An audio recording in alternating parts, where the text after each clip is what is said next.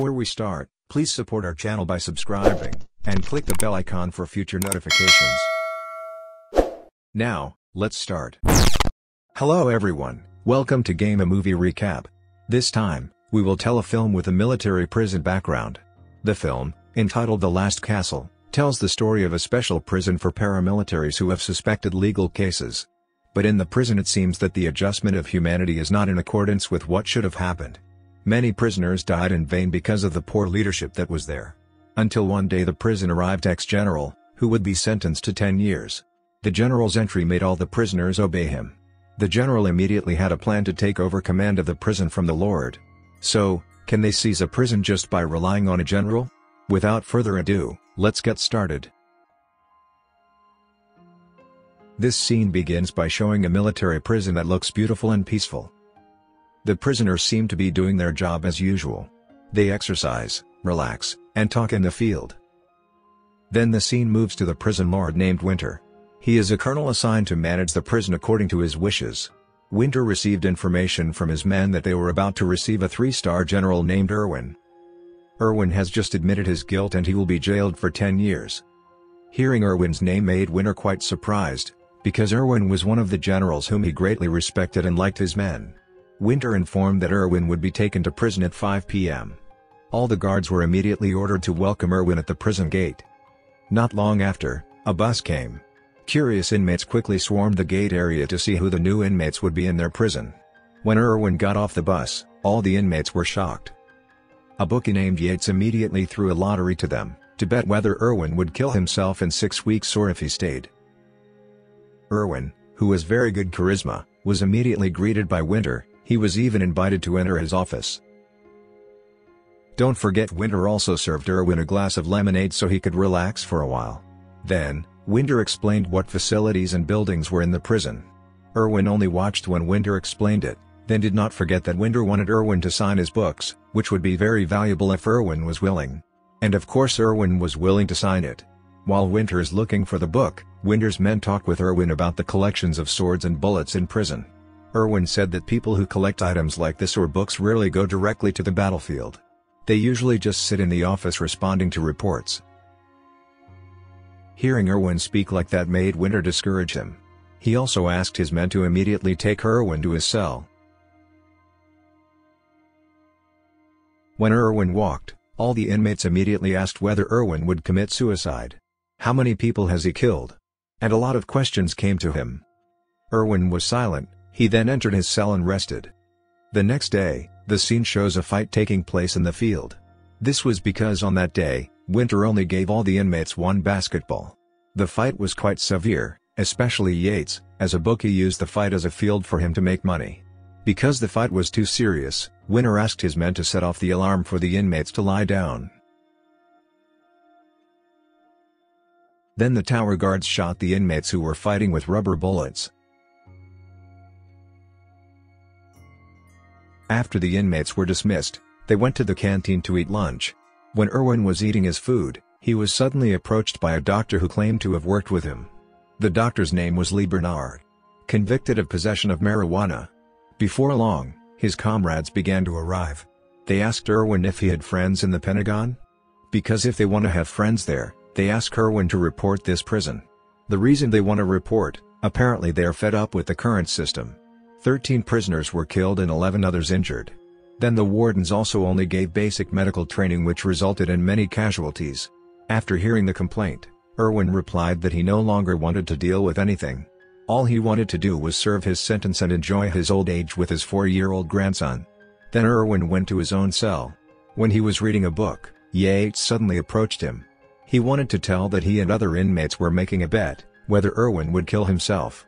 Before saying that, Yates himself introduced himself, if he is a child of the father who served with Irwin in Hanoi, in 1981. Of course Irwin recognized Yates' father, he told him that his father was a good soldier, but not long ago they talking, Irwin was suddenly called to face the living room. Turns out his son visited him. Irwin was very happy and immediately asked about his grandson's news. Irwin's son said that his grandson was very healthy. His grandson got an A in every subject. Getting news like that certainly made Irwin happy. But the question for his son is why Irwin would admit his mistake. Irwin asked not to discuss it. He did it because he felt guilty. Because she couldn't do anything, she could only pray for his father to keep himself safe while in prison. Then the scene moved to Irwin who was sitting while writing. He was suddenly approached by a prisoner named Aguilar. Aguilar often saluted him. Irwin was then curious, what rank Aguilar was before he entered the prison. Aguilar replied, if he was just a corps mariner. Then Irwin again asked what was his mistake to come here. Aguilar replied, if until now he still did not know what was wrong with him. He admitted that he had injured a colleague very badly. From a distance, Winter watched their conversation. Then Winter ordered his man to punish Aguilar because he continued to salute Irwin, even though he had been forbidden. Aguilar was eventually sentenced to salute the flag for several days. Irwin felt sorry for asking Aguilar to stop the salute. All of the guards immediately arrested Irwin, they asked Irwin not to interfere in the affairs of other prisoners. But Irwin who had the soul of a general, kept asking Aguilar to stop. Until finally the guards were forced to hit Irwin many times until he fell. Then, Winter immediately intervened. He apologized for the incident and asked Irwin to conform to the existing regulations. Because Irwin always interfered in the affairs of other prisoners, Winter finally sentenced him back. The next day, Irwin was sentenced to move all stones that weighed 25 pounds. Of course it becomes material for the inmates to gamble. Yates as the dealer, quickly gathered people who wanted to bet, whether Irwin would be strong enough to move all the stones. Slowly, Irwin moved the stones one by one, Lee Bernard as the doctor asked Irwin to take a drink for a while if he felt tired. Bernard also advised him to take off his clothes, because if Irwin kept pushing himself, he would inevitably faint. Finally, Irwin took off his clothes and saw some scars that made all the prisoners surprised. When one more stone remained, Irwin slowly lost his concentration. He accidentally bumped into a prisoner, causing him to fall and fall on the rock he was carrying. Lucky Bernard managed to get him to concentrate again and Irwin declared still strong to work. Apparently Irwin not only moved the stone, but he was also asked to move another stone the next day. But because of what Irwin did, the prisoners kept crowding. Winter decides to punish Irwin even more by putting him in solitary confinement. Winter also had time to apologize because he was forced to follow the existing regulations. Regarding Aguilar, Winter tells that he once beat his senior with a hammer until Aguilar's senior was seriously injured. He just wanted to remind that not all prisoners can be defended by Irwin. Then after a few days he was in the isolation room, Winter took him out. When Irwin had returned to his cell, Yates approached him. He gave 36 rolls of cigarettes because Aguilar had won the bet over him. But Irwin called Aguilar, he asked him to share the cigarettes with other inmates because he doesn't smoke. They then went back to talking. Yates told him if his father used to say that it was Irwin who kept his father alive in Hanoi, Irwin just smiled without wanting to show that he had saved Yates' father's life. Then the scene moves to Irwin who comes to an inmate named Beaupre, who is building a wall. At that time, Irwin only asked what the wall was made for. Beaupre only replied if he was just doing his job. Then Irwin approached a stone there, there was a name of a soldier who had built this prison in ancient times. Then Irwin told if the wall is not just a pile of stones, but it could be a self-defense. Hearing that Beaupre asked how they did it. Irwin replied he did not know. He told Beaupre to ask Aguilar because his father was a bricklayer. Finally after Irwin gave those words, the next day they decided to tear down the wall and rebuild it according to Aguilar's directions. The result this time the wall looks neater than before. Aguilar was really very happy because in the end the inmates could hear what Ja often suggested. But the cohesiveness of the convicts made Winter unhappy. He ordered his men to summon Irwin to his office. Their Winter explained that no prisoners died in vain at his hands during his tenure.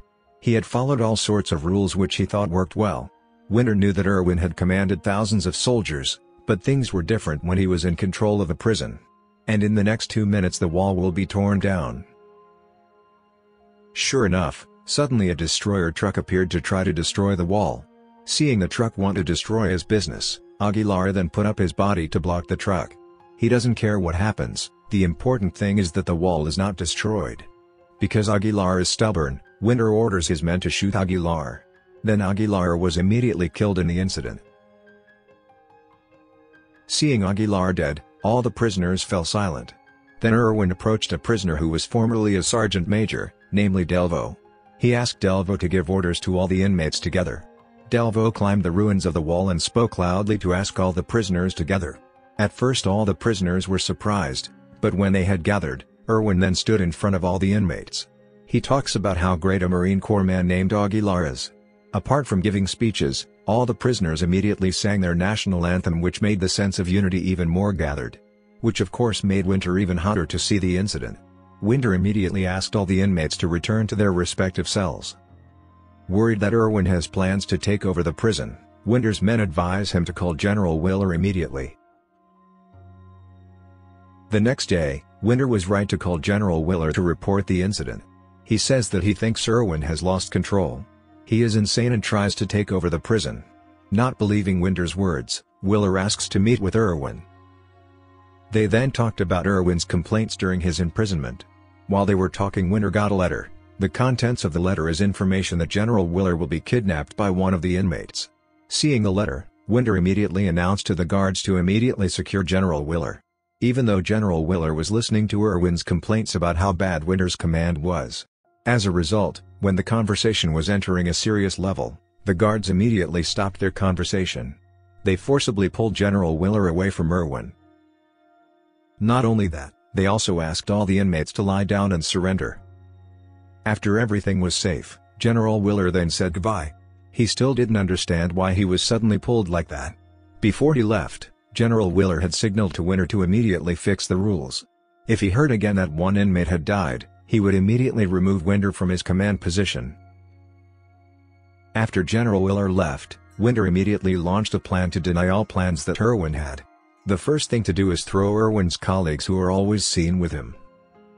They were put in an isolation room so Irwin could not talk with them. Irwin, who could only see the incident, was silent.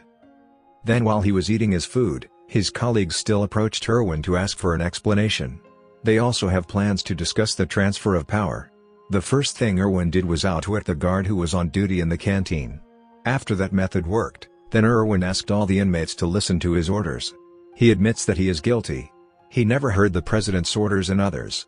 But even though he is the wrong person, but that can't make anyone lose his identity as a soldier. Then Irwin read out the rules of how a soldier can take power. After reading the seven points, Irwin confirms to all the inmates that they must unite to overthrow Winter's power. All the inmates immediately cheered very loudly. After the meeting, Irwin held a second meeting with his colleagues who had come out of the isolation room. Irwin explains how they broke into the security of the Winter office. The first thing they do is eliminate several important things, including helicopters, water trucks, and of course their most important enemy is snipers. He also asked Enriquez to maintain field parameters so that several other inmates could focus on their respective duties. When all his comrades had understood, he asked them all to disperse because he had a feeling that Irwin would carry out a rebellion. Winter immediately called a bookie he trusted, namely Yates. He asked Yates to talk to him about what Irwin was going to do. Yates also told him that Irwin was on his way to war. Winter smiled, then he gave Yates an offer to be his informant in charge of spying on every plot Irwin had, in exchange for a reduced sentence. But what Winter did turned out to be what Irwin had expected. After meeting with Winter, Irwin immediately approached him. He knew Winter knew the potential Yates had. Therefore he offered him a job to spy on his plan. Now Irwin asked Yates to choose which side he would side with. Yates was silent. The next day he went back to Winter to negotiate. Yates would tell Irwin the whole plan on the condition that he should be released from prison in the morning. Because he thought what he was doing was too risky. When all the inmates have been knocked down, then he will be their target. But Winter didn't agree. He couldn't just let Yates out. He would at least get it out seven days after Irwin's plan failed. But this made Yates unhappy, he also betrayed by taking Winter's flag which made Winter angry and immediately kicked Yates out. Upon learning of the flag theft, Winter orders his colleagues to search each cell to find out who stole the flag. While the prisoners were gathered in the middle of the field. When all the inmates were gathered in the middle, Winter asked how many troops were searching the entire cell. His men replied, 1,000 troops. Without them realizing it, Irwin actually carried out his plan in the middle of the field. As a result, several guards who were in the field were unable to stem the attacks of the inmates who were trying to break into the inside. The war began, Irwin immediately commanded all his soldiers to block the entrance of the wardens who wanted to fight them. Then he asked Dellwo to bring out their ultimate weapon, which would penetrate Winter's defenses. Winter really never thought, Irwin had a throwing weapon that could destroy his office. Not only that, they also have a cannon that can burn down the sniper guard posts. Feeling it was time to take out the water cannon, Winter asked his men to take out the weapon. But Irwin had predicted it beforehand. He immediately asked his men to turn off the water line which made the water cannon not work. Soldiers increasingly managed to control the prison. When the situation is chaotic, Winter gets a communication call from Irwin. If this time the prison has been successfully controlled by them. But Winter still doesn't want to lose, he asks his partner to take out their last weapon, the helicopter. But again Irwin managed to predict it. He ordered his soldiers to reload the water cannons and started attacking the helicopters. As a result the helicopter went out of control, and this is where Yates worked. He immediately climbed a rope that the soldiers had stuck to the helicopter. But accidentally the rope broke, and made Yates have to work quite hard. Even so Yates managed to climb the rope and immediately took over the helicopter. Then he damaged the helicopter by crashing its tail on the last post belonging to snipers. In this situation, Winter had lost badly. He could do nothing but pass down the final ultimatum, namely weapons with real bullets. Winter then came out while carrying his men who were ready to shoot. All the inmates gathered to block. He shouted loudly to ask all the inmates to lie down. If they didn't want to follow his directions, then they had to be prepared to be shot dead. The inmates still maintained their position, but Irwin who felt that they had lost asked all his soldiers to lie down. It was true that the soldiers followed Irwin's directions. Then when Winter asked Irwin to do it, he refused. Irwin immediately took the flag and put it on the pole. What Irwin did made Winter really angry. He asks Irwin not to do that. But Irwin still put up the flag. And when the flag is set, he salutes. An emotional Winter decides to shoot Irwin multiple times to death, which causes his men to arrest himself. Winter was eventually charged with abusing his power in a violent manner. While Irwin's name is enshrined in a stone that is now the foundation of a new wall in the prison. The end. Thanks for watching our video, don't forget to like comment and subscribe, see you in the next video.